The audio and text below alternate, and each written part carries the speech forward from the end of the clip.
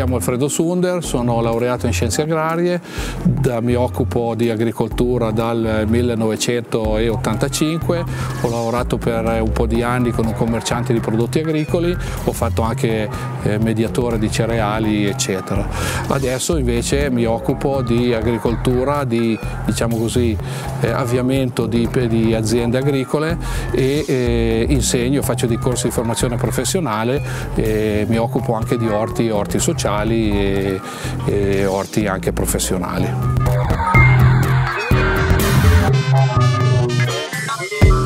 Il problema è che purtroppo i prodotti qui in Italia, ma così diciamo il problema di tutto il mondo, sono, i prezzi sono, sono molto bassi. E volutamente io credo, perché eh, eh, altrimenti eh, eh, se non si, si, riescono a tenere i, i, prezzi, i prezzi, bassi dei prodotti, eh, la gente sarebbe costretta a spendere molto, molto di più. E quindi eh, naturalmente poi ci sono anche tutti i problemi delle filiere, di filiere lunghe, di, di diversi passaggi.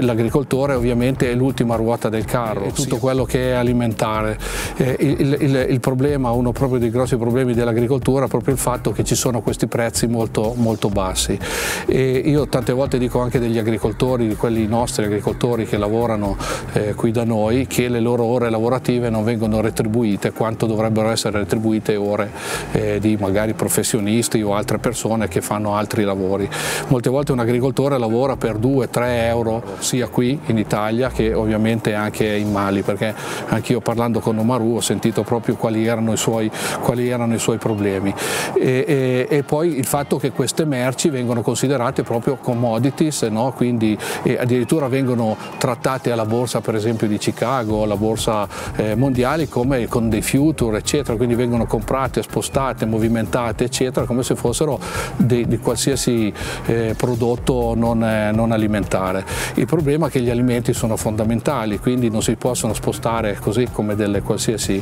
eh, merci, stoccare, eccetera. Mi viene in mente una tabella, adesso vado così un po' a memoria, eh, nel, una famiglia di quattro persone negli anni eh, 60 più o meno spendeva circa il 50% del proprio reddito di quello che guadagnava per beni alimentari. Oggi invece si parla di un 10, 15, massimo 20% di, di, di, di spesa per i prodotti alimentari, quindi rimane un 80% da destinare ad altri beni voluttuari o anche, anche altre cose. E quindi sicuramente questo è un'altra un faccia della medaglia.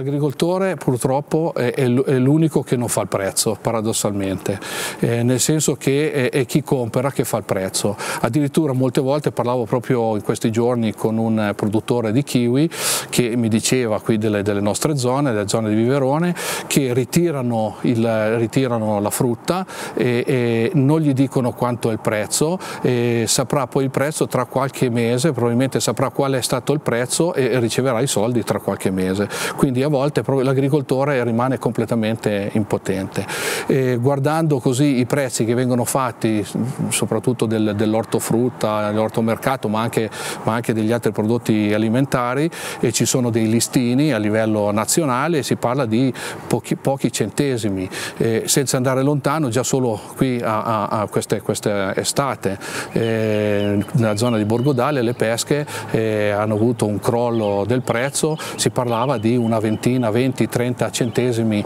eh, al chilo e, e, forse neanche. Molti agricoltori erano disperati perché il costo di produzione superava la, la, il ricavo della, della, della, della, vendita. Addirittura per esempio le patate ha toccato in questi mesi estivi il prezzo a livello nazionale i 9 centesimi e quindi è una cosa incredibile pensare di raccogliere un chilo di patate anche pur utilizzando delle macchine e riuscire a stare dentro a questi, a questi guadagni. E il problema è che le merci cosa succede? Che eh, molte volte le merci viaggiano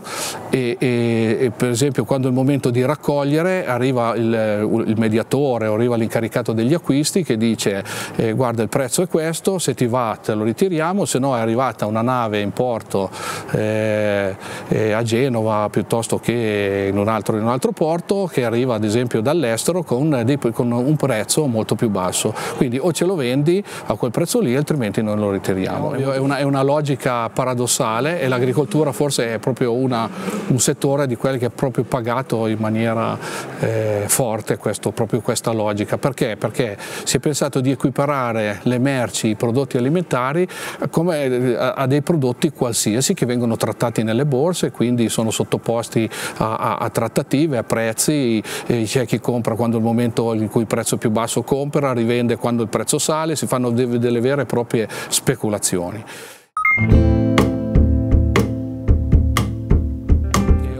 L'agricoltore eh, ovviamente eh, per poter stare dentro e poter portare a casa almeno, almeno le spese e, e, e, quello, che, e quello che, che, che, riesce per, per sopravvivere, diciamo così, è costretto a dover risparmiare su tutto. Ovviamente l'incidenza in agricoltura è ancora abbastanza importante, l'incidenza dei costi è la manodopera e quindi ovviamente si cerca di risparmiare tantissimo sulla, sulla manodopera. Ecco perché ci sono questi movimenti di, di, di persone persone che, che, che, che, vanno a lavorare, lavorano nei campi eccetera a dei prezzi eh, paradossali, nel senso eh, incredibili che una, molte volte un italiano non riuscirebbe neanche a concepire, anche perché vendendo a 20, 10, 15 centesimi un chilo di frutta o di, di ortaggi eh, non, è, eh, non, è, possibile pensare di, di sopravvivere se non, se, non, si abbassano i costi fino eh, il più possibile e quindi sulla manodopera ovviamente è la prima, è la prima a pagare diciamo così, il prezzo.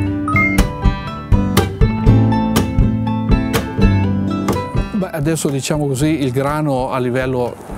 il, il, il, prezzo del grano e del mais si aggirano intorno ai 18-20, dai 15 ai 20 per il mais eh, euro al quintale. E, e, e, per il riso per esempio andiamo intorno ai 50 euro al quintale, quindi vuol dire eh, 50 centesimi al chilo, eh, facendo il conto. E, e, diciamo così, eh, i, i, prezzi sono anche, diciamo, forse su, su, quello che riguarda i cereali, eccetera, mais e, e riso, eccetera, sono convenienti in quanto si utilizzano, sono dei, dei prodotti che si utilizzano eh, le macchine. Quindi eh, abbondantemente meccanizzati, si usano erbicidi, si usano, eh, un, un, solo agricoltore riesce a gestire svariati ettari di terreno. E per chi invece lavora, come credo come faceva Omaru, eh, lavora propria, eh, del proprio lavoro e con una tecnologia magari non, eh, non avanzata, proprio perché le macchine costano eh, tantissimo, dovendo lavorare a mano, se, se uno pensa che a 19 centesimi centesimi eh, un, un, un, chilo di, un chilo di o 9 centesimi un chilo di, di, di grano è una cosa eh, assurda e per cui è impossibile riuscire eh, a starci dentro e io credo che un motivo di questo esodo anche del, eh, dal, dall'Africa di, questi giovani che sicuramente quelli che abbiamo che avuto modo di conoscere volenterosi, lavoratori eh, eh, proprio perché non riescono a sopravvivere con il prodotto della, de, della loro campagna. campanha.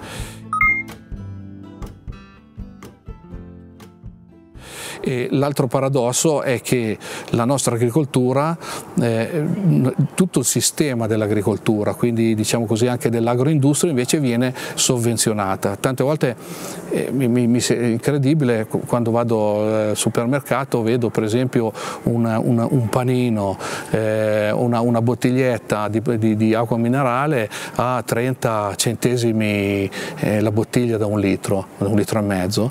e mi chiedo come, si, come possa costare costare, d'accordo l'acqua non costa, non costa, niente perché è una fonte, insomma, una, è un bene eh, che si trova dappertutto, ma io penso una bottiglia di plastica, eh, quindi eh, la plastica, il petrolio eccetera, il camion, il trasporto, la lavorazione, eh, la ditta che la produce, eh, eh, l'intermediario, il supermercato che la vende, mi, mi, chiedo come possa essere possibile pagare così poco una, una, un bene così che poi dire la verità il bene in sé non, va, non va, vale poco, insomma, nel senso dove c'è abbondanza di acqua. E così per i prodotti alimentari, e, e dei, dei, dei, panini, oggi proprio guardavo fuori da un, da un, negozio qui che vendevano delle focaccine, queste cose qui, a un euro. E io penso, un euro che cosa puoi, cosa puoi fare con un euro? Se penso al grano eh, che bisogna raccogliere, trebbiarlo, lavorarlo, fare farina, eccetera, impastarlo, eccetera, deve guadagnare quello che lo compra, deve guadagnare quello che lo vende, come si fa a stare con dei prezzi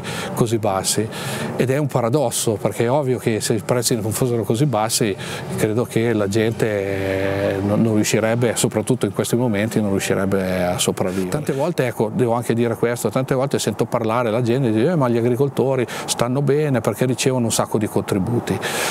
e, effettivamente i contributi, una, gran, una, buona parte del bilancio della comunità europea è dovuto a questi contributi che stanno ormai sempre più diminuendo. E, e il problema è che comunque non sempre sono sufficienti e non sempre poi eh, tutti gli agricoltori riescono a, eh, eh utilizzare, a raggiungere, a utilizzare questi, questi contributi e mai come adesso sta diventando sempre anche un po' più difficile.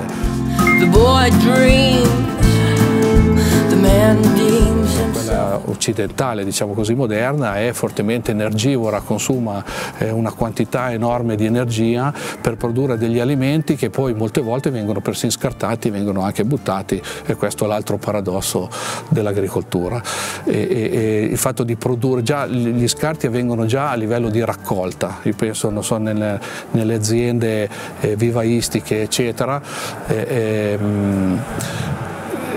c'è già uno scarto al momento della raccolta perché il prodotto che non è bello una volta veniva utilizzato, veniva utilizzato tutto quanto, adesso non è più che perfetto, non è più che bello, viene buttato, viene scartato. Quindi eh, eh, eh dopodiché questo prodotto va attraverso diversi intermediari, raggiunge poi gli scaffali dei supermercati, eh, hanno una certa durata e poi dopodiché vengono di nuovo buttati. Quindi per 10 kg prodotti ne vengono scartati eh, quasi la metà. È un altro paradosso paradosso che non, che non, sta, che non sta, in piedi, insomma, e questi sono tutti i vari paradossi dell'agricoltura moderna e del sistema moderno. L'ultima ruota del carro perché non è lui più a fare il prezzo e quindi questo è, è, lo vedo anche qui a, livello locale i prezzi li fanno le grandi piattaforme di, di, delle, della grande distribuzione i quali ovviamente devono eh, per, con la legge del profitto del mercato devono cercare di guadagnare il più possibile e, e, quindi ovviamente meno pagano il prodotto e più caro lo vendono ovviamente maggiore è il ricavo e maggiore il, il guadagno ma tutto questo va a detrimento della, della sopravvivenza e della vita. Io credo che sia la, la, parte più importante. Fino adesso siamo stati, diciamo così, attori passivi, anche perché bisogna dire che si sapeva anche relativamente poco. Adesso stanno emergendo tante, tante, tante informazioni, si viene a sapere eh, tantissimo di quello che sta succedendo nel mondo. E, e sicuramente come, come dobbiamo diventare attori eh, eh, attivi eh, e quindi in, che maniera possiamo, possiamo, rispondere. Naturalmente quello di eh, possibilmente di acquistare direttamente eh, dagli agricoltori evitando di saltare tutti i vari passaggi, eh, le intermediazioni, ma questo purtroppo non è sempre possibile perché non, non, è che possiamo reperire ad esempio dei beni come la farina eccetera direttamente a volte dall'agricoltore oppure affidarci a queste filiere, ci sono delle filiere che possono essere etiche, sociali, eccetera, che seguono il percorso del prodotto, anche il prodotto che viene dall'estero, perché l'Italia ovviamente non, non, può pretendere di produrre eh, il caffè, le banane e altre cose, quindi si deve eh, rivolgere ai paesi che le producono, ma cercando di seguire una filiera che sia più possibilmente etica, che aiuti soprattutto i contadini, che non vengano stroncati dalla, dal, dal, mercato e dal, dal, movimento delle merci e quindi che il loro prodotto diventi solo un, un qualcosa da, da contrattare e, e, naturalmente da abbassare poi il suo valore, perché meno costa e più naturalmente l'azienda che compra eh, guadagna. C'è proprio un agricoltore di Cossato mi diceva sempre, eh, sai le carote, io produco le carote e, e tante volte vengono qui in, in azienda e mi dicono eh, dammi un chilo di carote, dammi no, due chili di carote eccetera e dico sempre guarda le carote sono 3 euro al chilo e tutti eh, ma come al supermercato costano un euro, costano 80 centesimi, eccetera. Allora eh, lui mi diceva sempre questo, va bene, guarda, non me le paghi, là c'è il campo, le vai a raccogliere, raccogli quello che vuoi, vieni qui e le pesi e le paghi quanto, eh, quanto le pagate al supermercato. E dice tutte le volte raccogliere un chilo di carote eh, per terra, tirarne su una per una, molte volte ne viene una piccola, una un po' più grossa, una bitorzoluta, quindi la devi scartare, eccetera. Tutti si rendevano conto che cosa vuol dire raccogliere un chilo di carote e pagare eh, 70-80 centesimi. E, e, questa diciamo, è la maniera migliore per capire che cosa vuol dire il lavoro in, in, in agricoltura e, e, riconoscerlo come, come tale. Bene. Tieni conto del prezzo delle carote, quest'estate era intorno ai 17 centesimi al chilo.